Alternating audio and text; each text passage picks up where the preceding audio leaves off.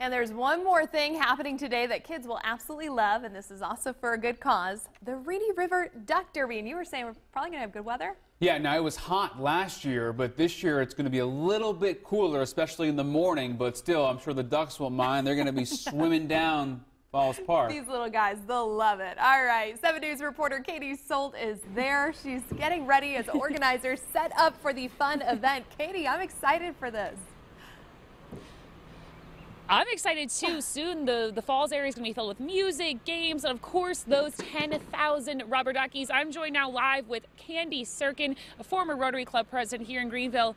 Candy, talk about how excited you are. This is the 12th annual Duck Derby. I mean, how excited is everybody today? We are extremely excited today. We're so happy to be down here. It's a gorgeous day. I think we're going to have a record crowd. Uh, we're just really, really thrilled to be able to do this for 12 years for the city of Greenville.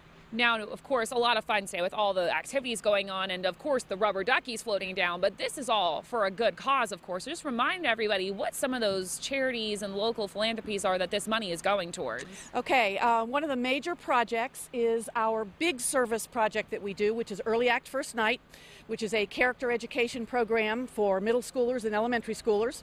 Um, we also uh, support Shriners Hospital, uh, GAIN, which is the Greenville Area Interfaith Hospitality Network, uh, Mauldin Miracle League, uh, Greenville Symphony, and uh, several others.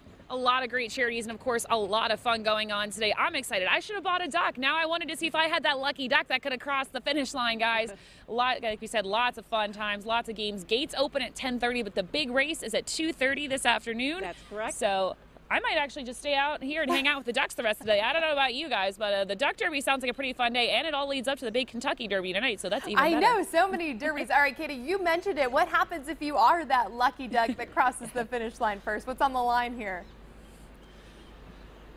Well, there's actually quite a big prize on the line. A year's worth of groceries from Publix. That's a pretty big prize. A year's supply of groceries from Publix. Second place takes home an awesome children's play set, and third place takes home a season pass for the Greenville County Rec Center. All great prizes, but again, it's all about those charities that it's really benefiting here locally. All the great charities here in Greenville that it is benefiting.